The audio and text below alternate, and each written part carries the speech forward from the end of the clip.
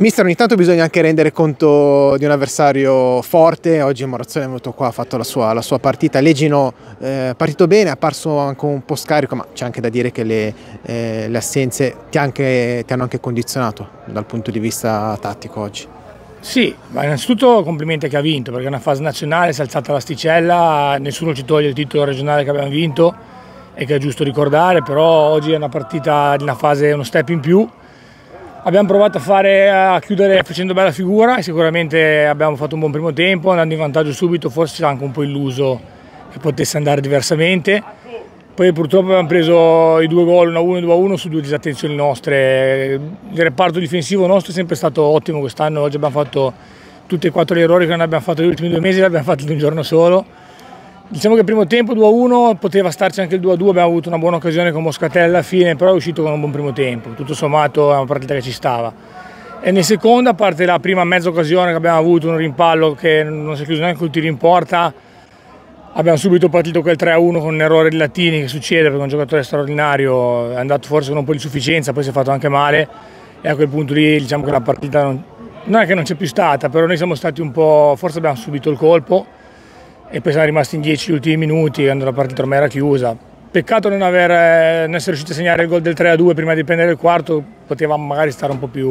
un po più dentro.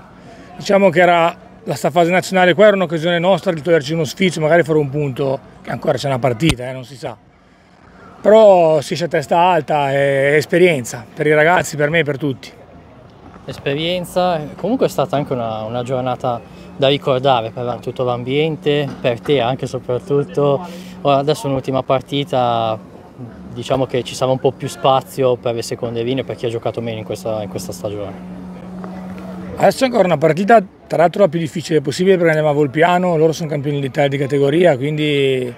insomma sarà una partita particolare, però andiamo per onorarla perché giusto, sarebbe giusto secondo me chiudere la stagione così importante magari il primo titolo regionale del Legino, la prima volta fai una fase nazionale. Oggi dicevi bene, è una giornata da ricordare, Io penso sarà,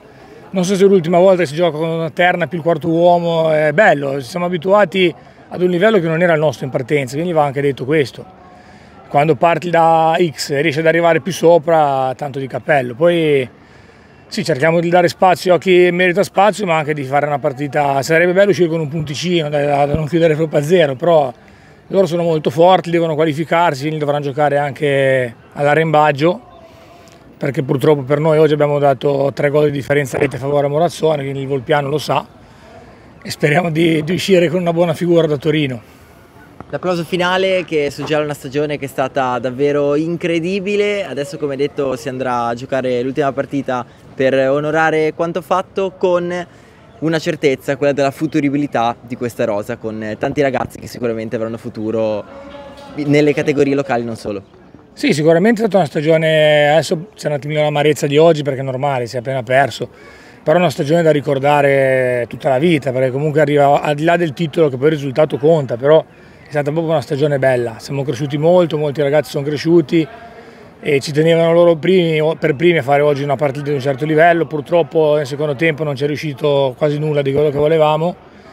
però usciamo a testa alta e l'applauso del nostro pubblico locale fa piacere, comunque è gente che ci ha seguito durante l'anno, soprattutto nella seconda parte,